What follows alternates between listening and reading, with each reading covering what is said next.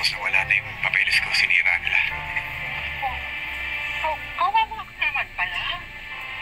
Eh, sa, saan ka titira ngayon? Sinubukan nga ni Tanggol na takasan ang kanyang kapalaran, subalit wala na siyang magagawa. Noong mga time na galing sa kanilang bahay, ay nalulungkot siya dahil hindi siya tinanggap ng kanyang ama. Binugbog siya ni Rigor, maging itong si Divida. Kaya naman kaawa-awang Tanggol naglalakad na lamang sa daanan.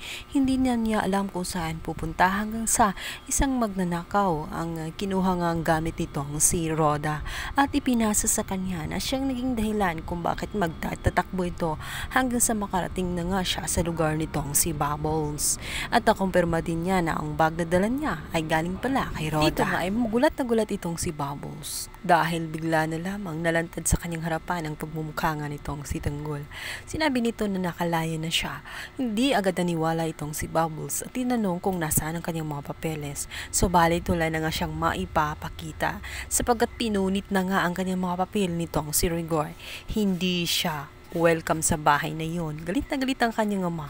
Kaya imbis na tulungan siya na magbago, ay lalo pa siyang nilulubog at nalayas. Malungkot ang kanyang itsura dahil nag-iisa siya at tela wala nang kukup-kup sa kanya. Hindi na nga niya alam kung saan na nga siya tutungo ngayong tinakwil siya ng kanyang ama at hindi siya welcome sa bahay nila. Ngunit si Bubbles ay handang damayan si Tanggol at sinabi nito na huwag siyang mag-alala at welcome siya sa bahay na iyon.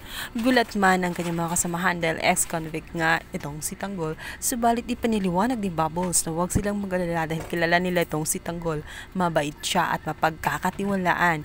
Natitiyak ni Bubbles na ipagtatanggol sila sa oras na may kapahamakan na mangyayari. Pasok na nga siya ni Bubbles sa loob upang magamot ang kanyang sugat.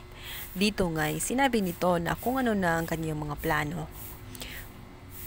Totoo ay hindi alam talaga ni Tanggol kung ano ang kanyang gagawin. Gulong-gulo siya. Nais niya na makahanap ng trabaho. Subalit mahihirapan siya lalo't galing nga siya sa kulungan.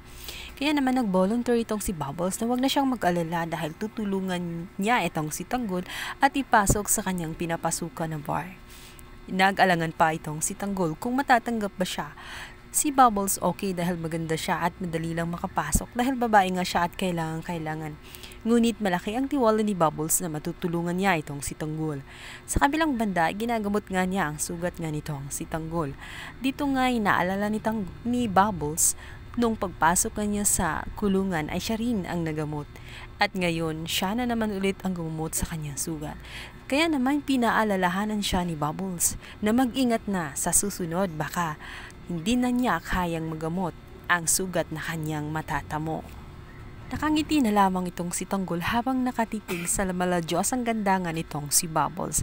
Halatang halata na masaya ang isa't isa dahil nagkita na nga silang muli at naibalik nga ni Tanggol ang sombrero na ibinigay ni Bubbles at sinabi nito na hanapin siya ay nagawa rin niya at natuntun ang bahay nga nitong si Bubbles.